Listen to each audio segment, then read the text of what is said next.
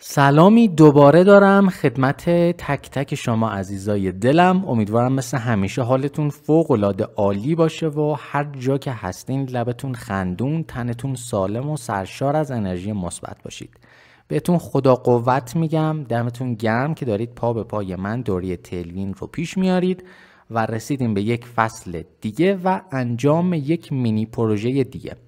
قراره توی این فصل طرحی که اینجا دارید می‌بینید رو با همدیگه پیاده سازی بکنیم و توی این طرح از ترکیبی از flexbox و CSS grid استفاده شده.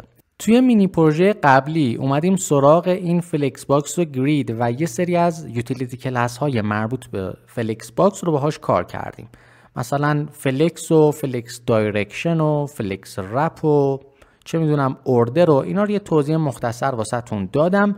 حالا مونده این قسمت مربوط به CSS grid یه سری utility class مربوط به CSS grid هم وجود داره که نه هنوز استفاده ای ازش کردیم در عمل و نه توضیح خاصی در موردش دادم. و با انجام این مینی پروژه‌ای که توی این فصل قراره با هم انجام بدیم هم ترکیبی از flexbox رو دارید و هم ترکیبی از این CSS grid رو. یعنی این مینی پروژه توش هم از utility class های flexbox استفاده شده هم از utility class های مربوط به CSS grid استفاده شده. اگه کلا CSS grid رو باهاش آشنایی ندارید کافیه بیاید search بکنید CSS grid توی گوگل. البته یه چیز دیگه search کردم. CSS Grid. اینو که search بکنید وارد این وبسایت بشید که نوشته A Complete Guide to CSS Grid یعنی یک راهنمای جامع واسه CSS Grid.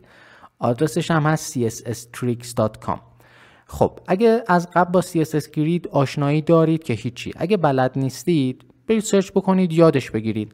یعنی توی این مینی پروژه من دارم از یوتیلیتی کلاس های CSS Grid استفاده می‌کنم. و اگه شما کلا با خود CSS گرید آشنا نباشید خب درک این مینی پروژه واسهتون سخت هست چون پراپرتی های مربوط به CSS گرید رو بلد نیستید. توی این منبع یه توضیح خیلی خوب داده و تمام پراپرتی های مربوط به ماژول CSS گرید رو خیلی خوشگل و ترتمیز واسهتون توضیح داده. و به صورت بسری با تصاویر هم این کار رو واسهتون انجام داده و بیایید همین مقاله رو مطالعه بکنید. خیلی راحت می‌تونید CSS گرید رو یاد بگیرید اگه بلدش نیستید. خب حالا مثلا توی این مینی پروژه یه جاهایش از flexbox استفاده شده. مثلا این قسمت رو ببینید. این تصویر و این متن کنارش رو توسط flexbox کنار هم دیگه چیدیم. یا دوباره این قسمت با flexbox این قسمت با flexbox هست. و چینش کلی این پنج تا box ی که دارید می‌بینید با استفاده از utility class های مربوط به CSS Grid هست که حالا از ویدیوی بعدی میریم کم کم شروع می‌کنیم و یاد می‌گیرید که چطور این مینی پروژه رو با همدیگه انجام میدیم. پس توی ادامه این فصل منتظرتون هستم. خیلی پر انرژی این فصل رو هم همراه با من پیش بیاید موفق باشید.